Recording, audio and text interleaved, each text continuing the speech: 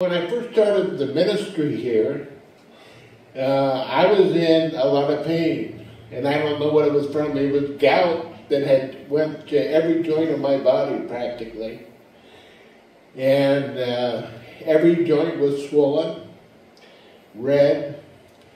Uh, couldn't hardly walk. In fact, I used crutches. And I remember every time that I got behind this pulpit, I put the crutches down the pain left. And I was able to preach. After I got done preaching, though, I had to use the crutches again because I was back in pain to get back down. I remember that at the apartments where I was at Mount Baker, uh, it was three flights of stairs to get to my apartment. Now, I was in a lot of pain. So I started to try to get up and practically was pulling and crawling practically all the way up to the apartment. I knew that I was exhausted, that I couldn't actually, the pain was more than I could take. And I knew that if I sat down in the chair that I was going for, I probably wasn't going to get back up because I was in so much pain.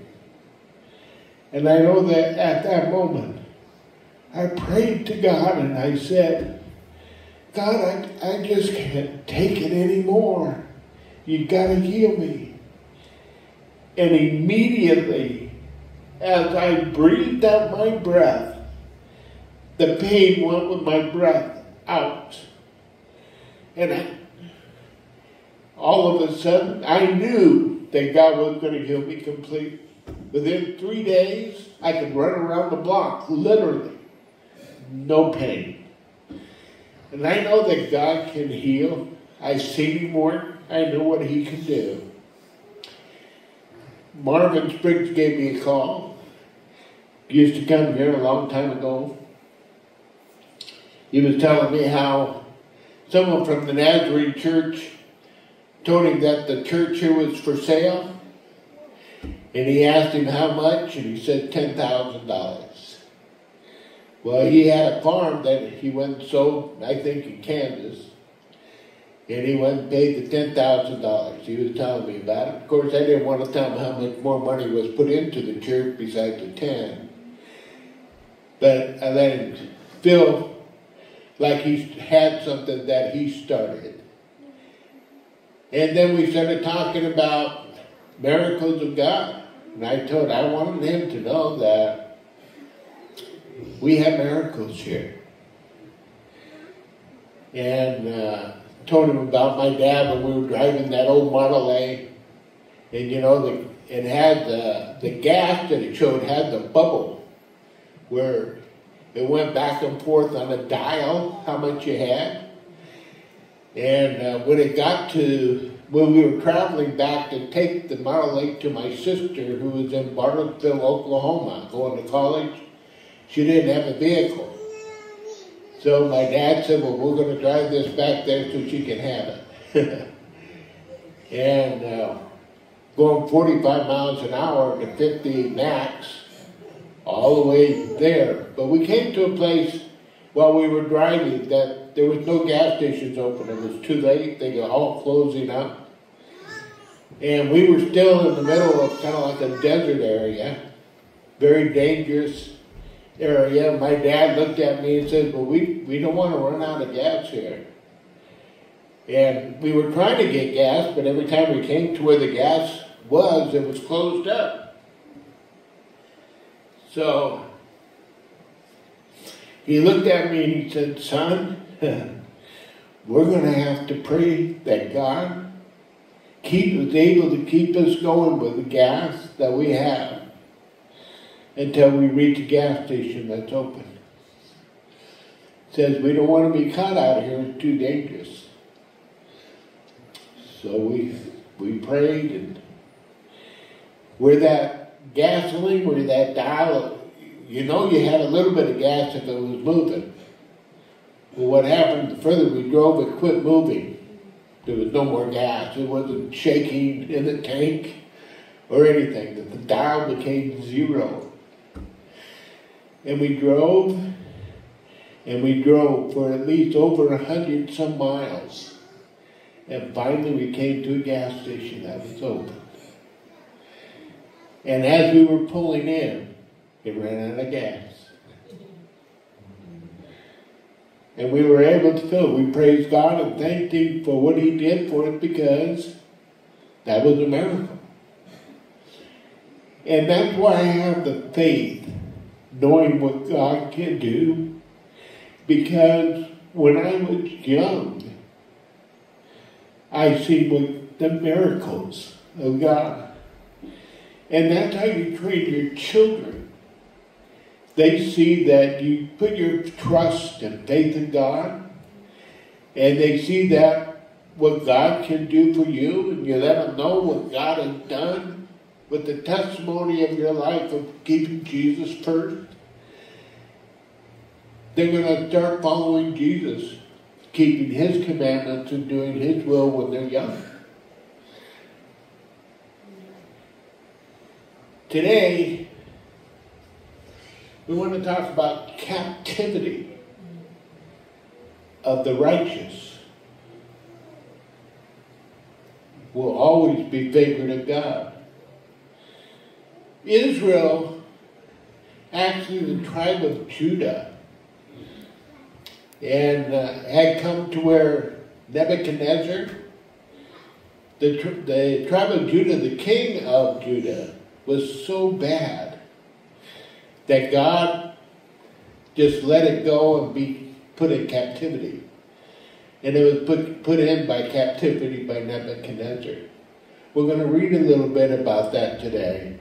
And we're going to read about children who are taught by their parents to put their faith and trust in God to such they would adhere to it even when they're not with their parents. They're going to put their trust in God. Second Kings 24 1, it says, In his days, Nebuchadnezzar, king of Babylon, came up, and Jehoiakim, this is the king that was no good, king of Judah, became his servant three years, and he turned and rebelled against him. And the Lord sent against him bands of the Chaldees, bands of the Syrians, and bands of the Moabites, and bands of the children of Ammon, and sent them against Judah to destroy it. I wonder if anybody would give money to the Jews then, that they were going to be blessed when God was destroying Judah. No, probably God would destroy them also. Because why? They're going against the will of God. When someone goes against God's will, they're going to be chastised. That's what happened to the king. The king in charge did everything against God. So God put him in captivity.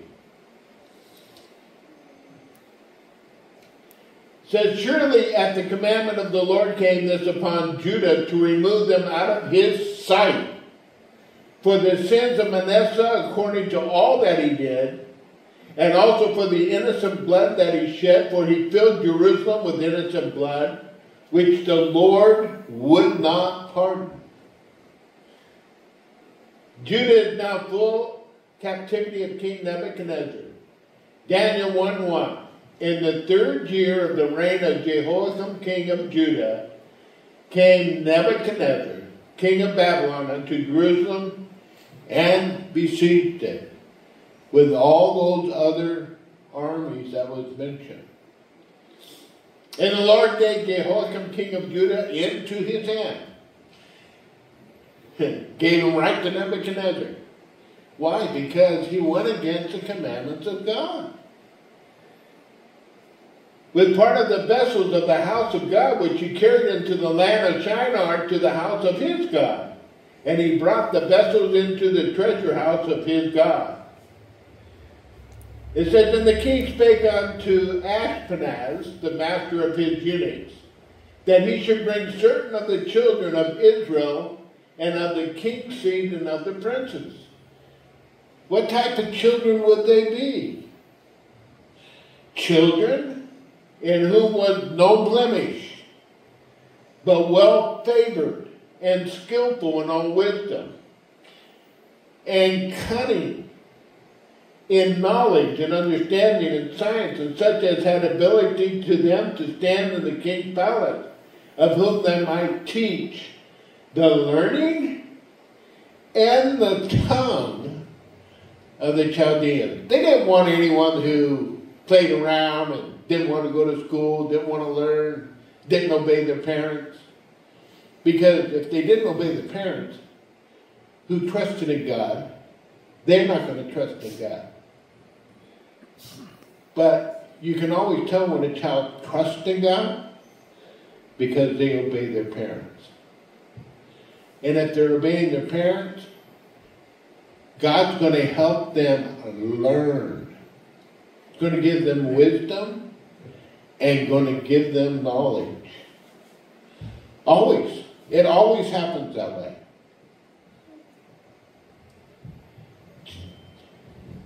So even though Jehoshaphat, king of Judah, did evil in the sight of God, there were parents who still followed the commandments of God and taught their children the commandments of God. These children who obeyed their parents had learned to keep the commandments of God and put their faith in God. Teaching at home is very important. You have to teach them at home about God, to trust in God. When children put their faith in God, they will obey their parents. Number one. When children will finally put their trust in God, they will always obey their parents. There's no other way of it happening. It doesn't happen any other way. That's the way it always is. When they finally put their trust in God, they will always obey their parents. And because of that, they easily study and learn what they are being taught. Because why? God will help them. See, when you keep the commandments of God, it's obeying your parents the commandment of God. It sure is. And when you keep, it says, the commandments of God and do His will, ask what you please, and He will help you. God will help them to excel when they obey their parents and when they ask God to help them learn. See, now that they're keeping the commandments and keeping doing what God's will is, God now is going to help them with their wisdom and knowledge. All they have to do is pray and ask. God's going to help them. They're going to excel above everyone else in wisdom and knowledge in their schools. Did you know that? They absolutely will. There's no question to it. They will excel if they keep God's commandment, honor thy father and thy mother, and keep their faith in God. Daniel 1 5, and the king appointed them a daily provision of the king's meat and of the wine which he drank, so nourishing them three years, that at the end thereof they might stand before the king. Now among these were of the children of Judah, Daniel, Hananiah, Mishael, and Azariah, unto whom the prince of the eunuchs actually changed their names. For he gave unto Daniel the name of Belshazzar. and unto Hananiah of Shadrach, and unto Mishael Meshach, and unto Azariah of Abednego. So he changed their names. I wonder if they said, no, we're not going to take those names. Do you think that they rebelled? Well, they probably would have if they hadn't obeyed their parents when they were younger. And they probably then would have been killed because of stupidity, never learning to obey. When you don't learn to obey, you're going to be first to get in trouble when you get it open. The way it happens. But Daniel proposed in his heart that he would not defile himself with a portion of the king's meat. So what is he going to do if he's not going to defile himself? Is he going to go ahead and scream and yell and say, I'm not going to do it? I'm not going to obey what you say? Nor with the wine which he drank. Therefore he requested of the prince of the eunuchs that he might not defile himself. So was Daniel eating the meat and drinking the wine? I'm sorry, but he was. That's what it says. He was eating the meat. And he was drinking. Why? Because he was not going against authority. He learned to obey his parents.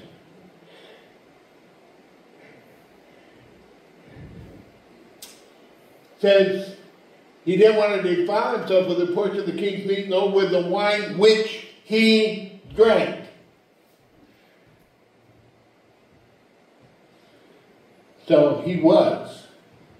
But he was looking for a way not to keep doing it. And I'm sure he prayed to God and asked for knowledge and wisdom, which God would give him. Why? Because when you obey God's commandments and do His will, He'll answer your prayer. Real simple. He will answer your prayer. So Daniel did not defy the orders of the king, but put in a request. Did you hear that? He put in a request. He didn't defy, he put in a request. He already was eating meat and drinking the wine. He just didn't want to keep defiling himself. So he put in a request because he knew that it just wasn't right with God what, what was happening, even though he was under authority. But God wouldn't blame him because of being forced by authority. Did you know that? But for you not to try to find a way out, God would blame you. Matthew 10 16, Behold, I send you forth as sheep in the midst of wolves. Be ye therefore wise as serpents and harmless as doves. I'm sure that's what Daniel prayed for. Oh Lord, give me the wisdom. What, what can I say? What can I tell him so that we can continue not to eat and defile ourselves with the meat and the wine? Now, God had brought Daniel into favor. Huh. Wow, because he didn't defy, but he was doing everything he was supposed to do, being told by the eunuch, he found favor.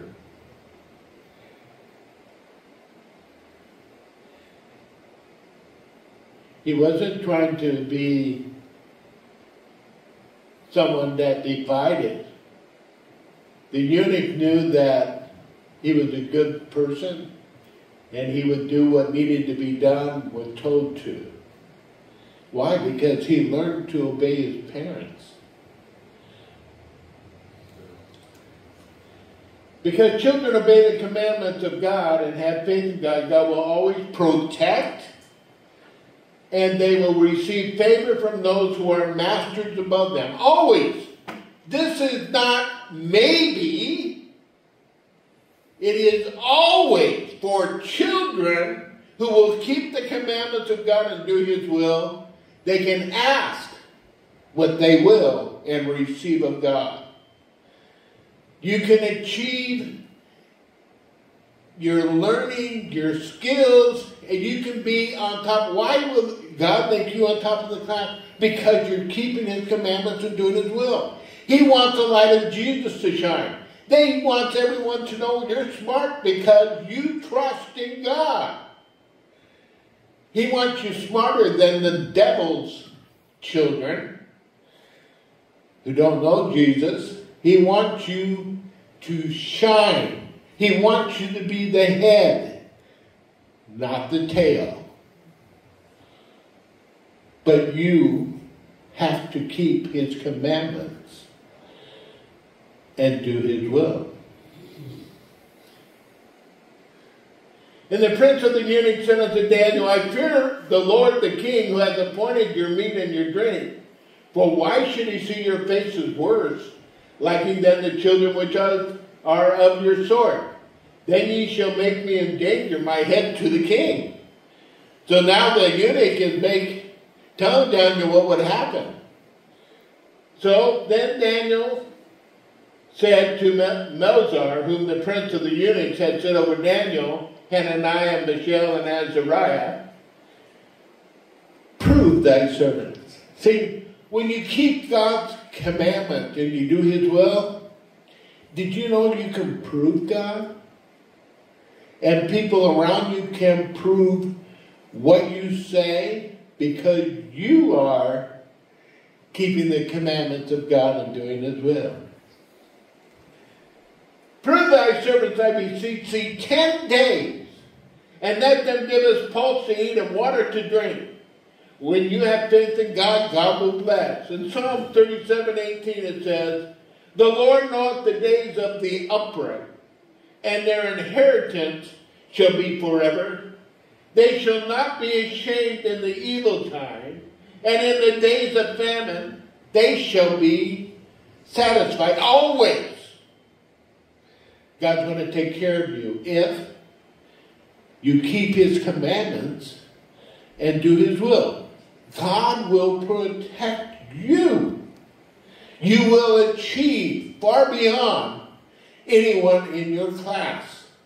Always be an achiever. Always. This is not maybe, this is always. Then let our countenance be looked upon before in the countenance of the children that eat of the portion of the king's meat, as thou seest, deal with thy servants. So now Daniel said, okay, let's just test it for 10 days. And if there, if I, we look worse, then the others, well, I'll continue eating the meat and drinking the wine. Gotta remember, he was eating the meat and drinking the wine. And he could not not do, do eat, eat the meat and drink the wine until this test was over. Wow. But he knew that God didn't want him to do it. But God wasn't blaming him because his master made him do it. But God will find a way if you pray to God so that you come out shining the light. So you become an achiever. God will bless you when you try to keep His commandments and do His will. So he considered to them in this manner and proved them ten days. And at the end of ten days, your countenance appeared fairer and fatter in flesh than all the children which did eat the portion of the king's meat. Thus Melzar took away the portion of their meat and the wine that they should drink. See, he took it away now because they were eating it and drinking it. But now they proved God. And God, through the test, was proving them. And now the blessings, because of going through that test, is going to come to these who keep the commandments of God and put Him first. Thus Melzar took away the portion of their meat and wine that they should drink and gave them pulse. As for these four children, God gave them knowledge and skill in all learning and wisdom. And Daniel had understanding in all visions and dreams. Why did he? Because he was the older of the others, and he had stood up and made the request. Did he get blessed more than the others? Yes, he did. Why? Standing up for Jesus, keeping the commandments and doing his will. You will prosper prove him and see. This is not if or maybe. This is a fact of life that God has proven to everyone. Telling them, keep my, my commandments and do my will, you can ask what you will. Now, at the end of the days that the king had said, that's over three years that they were eating that. They brought him in, then the prince of the eunuchs brought them before Nebuchadnezzar. And the king communed with them, and among them all was found none of all the ones, of all the children that they got from all over the place that didn't have any blemishes, that were skilled, had good understanding and knowledge who could learn the, the language of Nebuchadnezzar, the Chaldean.